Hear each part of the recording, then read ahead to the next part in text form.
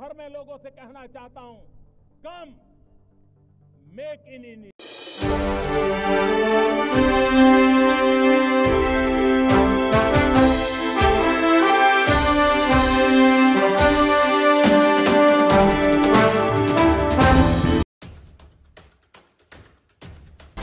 भ्रष्टाचार तथा अन्य आरोपों में घिरी पीसीएस अधिकारी ज्योति मौर्य की मुश्किलें बढ़ सकती हैं। अब उन्हें नोटिस जारी कर संपत्ति का ब्यौरा तलब किया गया है। उनकी प्रॉपर्टी, वाहन और खातों की जानकारी कमेटी द्वारा मांगी गई है। सफ़ाई कर्मी पति आलोक मौर्य की भ्रष्टाचार की शिकायत के बाद गठित जाँच कमेटी ने अपनी जाँच शुरू कर दी है।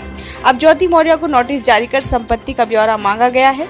बताया जा रहा है कि कमिश्नर कार्यालय में वीडियो कैमरे की निगरानी में एसडीएम ज्योति मौर्य का बयान दर्ज किया जाएगा। ऐसे में एसडीएम अधिकारी ज्योति मौर्य की मुश्किलें बढ़ सकती हैं। पीसीएस अधिकारी के पति आलोक मौर्य का आरोप है कि ज्योति मौर्य ने पद का दुरुपयोग कर करोड़ों का अवैध लेन देन किया है। इस पैसे से उन्होंने कई जगह पर संपत्ति बनाई है, कई सेक्टर में निवेश भी किया है। लेन देन के समर्थन में वे लिखा पढ़ी के कागजात भी सौंपे गए हैं, जिसमें किस अधिकारी से कितना लेने का ब्यौरा दर्ज किया गया था। शासन के निर्देश पर प्रयागराज के मंडलायुक्त विजय विश्वास पंत को इस प्रकरण की जाँच सौंपी गई है। मंडलायुक्त ने अपर आयुक्त प्रशासन, अमृतलाल बिंद एडीएम प्रशासन हर्षदेव पांडे और एसीएम प्रथम जयजीत कौर की कमेटी गठित कर जाँच शुरू करा दी है।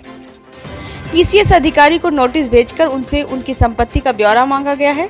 झलवा में उनके मकान के साथ ही प्लॉट और फ्लैट की भी जानकारी मांगी गई है। नोटिस में जाँच में सहयोग करने को भी कहा गया है। इसके पहले बयान दर्ज कराने के लिए दोनों को नोटिस भेजा गया है। जाँच कमेटी की माने तो अगले हफ़्ते दोनों के बयान दर्ज किए जा सकते हैं। कमिश्नर ऑफ़िस में दोनों का वीडियो कैमरे की निगरानी में बयान दर्ज कराया जाएगा। उनसे पूछे जाने वाली सवालों की लिस्ट तैयार कर ली गई है। इसमें इसमें ज़्यादातर वही सवाल है जो आलोक ने पत्नी ज्योति पर लगाए हैं। जाँच कमेटी के अध्यक्ष अपर आयुक्त प्रशासन का कहना है कि पहले दोनों से अलग अलग पूछताछ होगी, इसके बाद दोनों का सामना कराया जाएगा।